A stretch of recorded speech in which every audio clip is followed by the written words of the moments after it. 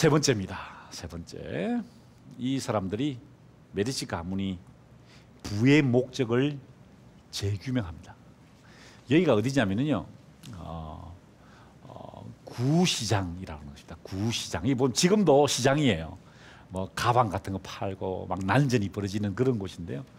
여기에 요 동상이 왔습니다. 동상하죠. 남자가 이렇게 깃발을 탁 들고 있는 이 사람이 누구냐면은 어, 하청민이었습니다. 그 당시 그 하청민 피렌체 하청민이었는데 이 하청민이던 사람들이 주로 뭐 하는 사람들이었냐면은 그 염색 산업 그러니까 이 피렌체는 가죽 산업이 유명한데 지금도 유명하죠. 그러면 그 소가죽이나 뭐 동물 가죽을 이게 이게 마금질하는 거 있잖아요. 그 일이 많이 들잖아요. 그 이손이 많이 들죠, 그죠? 그리고 그리고 우리 말하는 이른바 3D 작업 작업 있죠, 직업이죠. 그러니까 그런 일을 하는 아주 그런 일을 하는 사람들이었어요.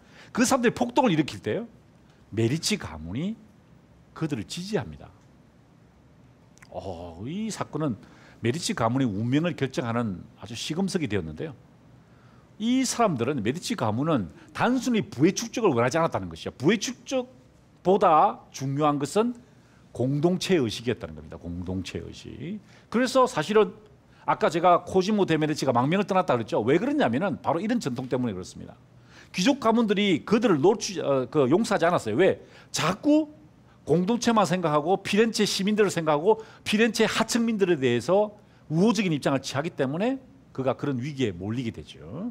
자, 제가 드리고 싶은 말씀은 이겁니다. 메디치 가문이 부의 목적을 재규명했다는 것이죠. 부를 왜 축적했느냐, 무엇 때문에 우리가 부자가 되냐, 돈을 벌려고 하는가에 대한 개념을 재정립했습니다. 어, 메디치 가문의 위대한 여성들이 어, 몇 분 계신데 그 중에 저는 이분이 참 중요한 인물이다 생각합니다. 누구냐면은 안나 마리아 루이사 데 메디치라는 분이신데요. 메디치 가문의 제일 마지막 여성입니다. 제일 마지막 어, 메디치 가문의 지도자였어요. 이분이 임종하면서 사실은 메디치 가문이 끝이 납니다. 347년 어, 이어졌는데요. 이제 이분이 이제 운명함으로써 이제 메디치 가문은 역사에서 사라지게 됩니다. 그래서 지금 피렌체에 있는 메디치 가문은 진짜가 아니고요, 짝퉁입니다. 예. 예. 자, 여러분 우피치 미술관 다시 우리가 방문하는데요. 이 우피치 미술관에 있는 엄청난 보물들이 있습니다. 그렇죠? 뭐 미켈란젤로, 다빈치, 보티첼리, 뭐 또 누굽니까? 엘 그레코 작품도 있고요. 그다음에 티치아노 작품도 있고요. 뭐 그다음에 저 북쪽에서 온 네덜란드 작가들, 뭐 독일 작가들도 막 엄청난 보물들이 있습니다. 그런데 이 엄청난 보물들이 어떻게 피렌체에 남게 되었을까요? 우피치 미술관의 원래 주인은 누굴까요? 바로 메디치 가문이었습니다. 이 메디치 가문이 소장하고 있던 작품들을 지금 전시하고 있는 거예요.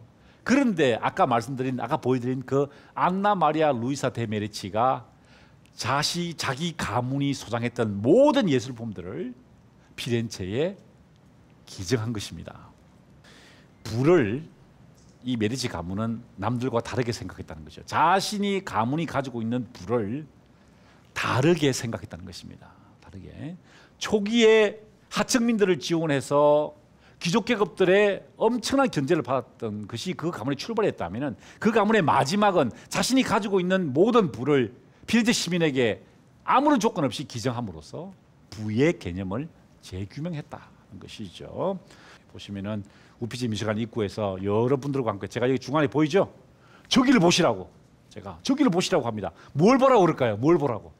바로 이것을 보라는 것입니다. 누구죠? 코지모 데 메디치입니다. 이 코지모 데 메디치가 르네상스, 인문학 그리고 부의 개념을 재정립했다는 것입니다. 제가 이렇게 힘들게 이 늦은 시간까지 예, 자정이 다 된 이 시간까지 제가 말씀드린 이유가 무엇일까요? 아마 여러분도 짐작하실 겁니다.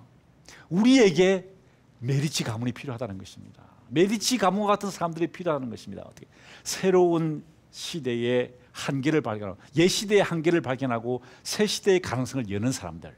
그죠? 아낌없이 후원하고 끊임없이 지원해서 새로운 문화를 만들어가는 사람들. 그리고 자신, 자기 집안, 자기 회사를 위하는 것이 아니라 우리 공동체를 위하는 그런 메디치 가문과 같은 사람들이 나오기를 바라면서 그 가문이 있었기 때문에 르네상스가 가능했다는 것을 말씀드리기 위해서 제가 이 늦은 시간까지 여러분과 함께 함께 공부를 하고 있는 것입니다. 자, 여기가 메디치 저택입니다. 내부입니다. 미켈로조가 건축한 곳이죠. 어, 여러분 이곳에서 교황이 두 명 나오고요. 미켈란젤로가 여기를 뛰노면서 뛰어다니면서 예? 천재 예술가로 성장하게 되죠. 이 메르치 가문이 우리에게 남긴 교훈이 무엇입니까? 첫 번째, 대학의 한계를 넘어서 인문학을 태동시켰다는 것입니다. 사변적으로 흐르고 전문화되고 다른 학문끼리 교류하지 않는 그 대학의 한계를 발견하고요. 중세 시대 대학의 한계를 발견하고 인문학이라는 스튜디아 후마니타티스 탄생의 배후에 있었다는 것이죠. 두 번째, 사고방식의 전환을 위해서 플라톤 철학을 도입했습니다.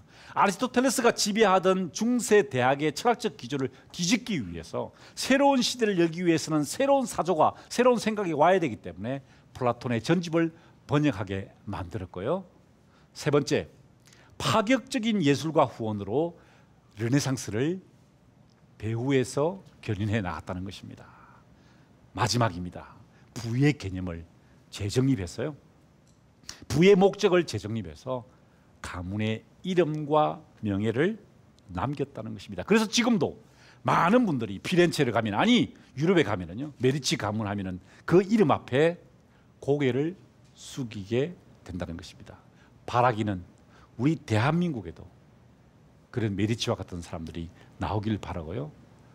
또 그 메디치와 같은 사람들이 나옴으로써 우리 대한민국에도 빛의 시대, 아름다움의 시대, 창조의 시대, 진정한 르네상스가 활짝 그 시대가 활짝 열리기를 기대하면서 제 여섯 번째 강의를 모두 마치겠습니다. 감사합니다.